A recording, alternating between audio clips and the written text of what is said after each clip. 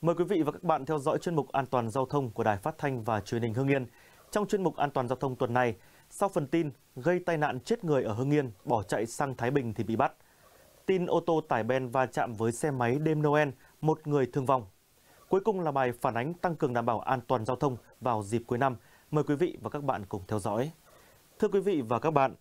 một người phụ nữ điều khiển xe máy trên đường Lê Văn Lương đã xảy ra va chạm với xe tải ben trong đêm Noel, dẫn đến bị thương vong.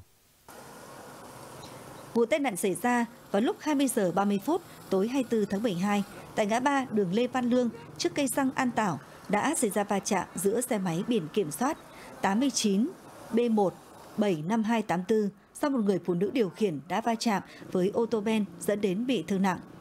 Sau khi đánh lái tránh người điều khiển xe máy, xe tải ben biển kiểm soát 90C 09172 đâm vào giải phân cách đường khiến đầu xe ô tô và bình dầu xe ô tô bị vỡ. Ngay khi xảy ra tai nạn, người dân đã kịp thời đưa người phụ nữ đi cấp cứu. Tại hiện trường, hai phương tiện bị hư hỏng nặng.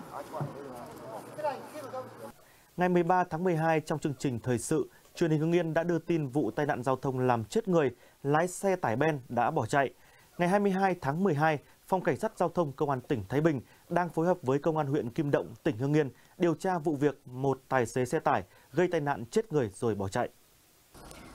Lực lượng chức năng phát hiện ô tô mang biển kiểm soát 19C 13312 do NVV 28 tuổi, trú tại xã Thạch Khoán, huyện Thanh Sơn, tỉnh Phú Thọ điều khiển có biểu hiện nghi vấn nên đã dừng xe kiểm tra hành chính.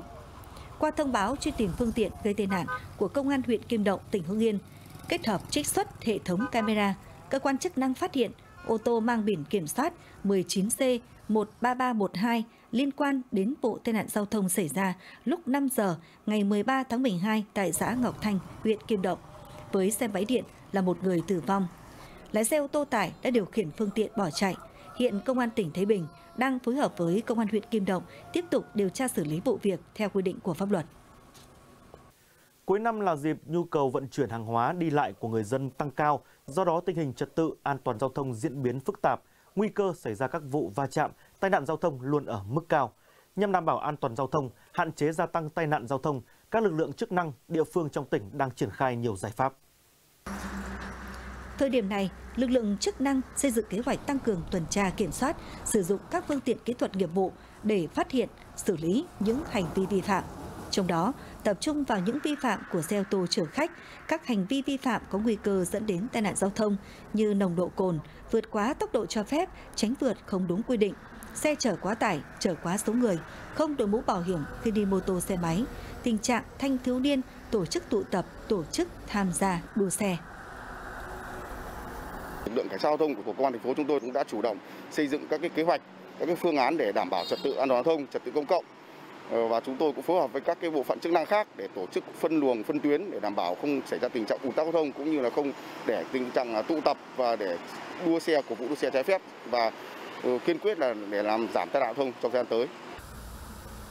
Đặc biệt trên các tuyến trọng điểm quốc lộ 5, quốc lộ 39, tuyến đường đối cao tốc là những điểm phương tiện tham gia giao thông đông. Vào những tháng cuối năm, để tăng cường triển khai các biện pháp giảm thiểu tai nạn giao thông, lực lượng cảnh sát giao thông công an tỉnh đã đồng loạt gia quân nhằm đảm bảo trật tự an toàn giao thông trong dịp Tết Dương lịch Tết Nguyên đán nhâm dần và lễ hội xuân 2022. Qua đó, lực lượng cảnh sát giao thông sẽ tăng cường tuần tra kiểm soát, xử lý nghiêm các vi phạm, đặc biệt là kiểm soát, xử lý người điều khiển phương tiện với các lỗi vi phạm phóng nhanh, uống rượu bia. Đây là những nguyên nhân gây ra tai nạn giao thông.